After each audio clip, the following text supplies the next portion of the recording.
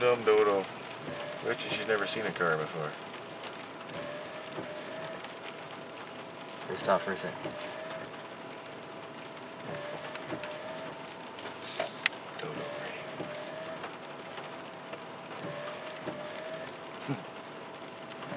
Look at the size of those ears. Mm-hmm. No, it looks more like a muley than a blacktail.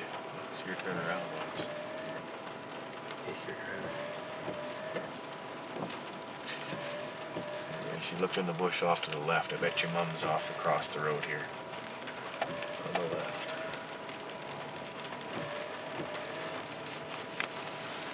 There she goes. Yeah, that's a blacktail. Not a muley.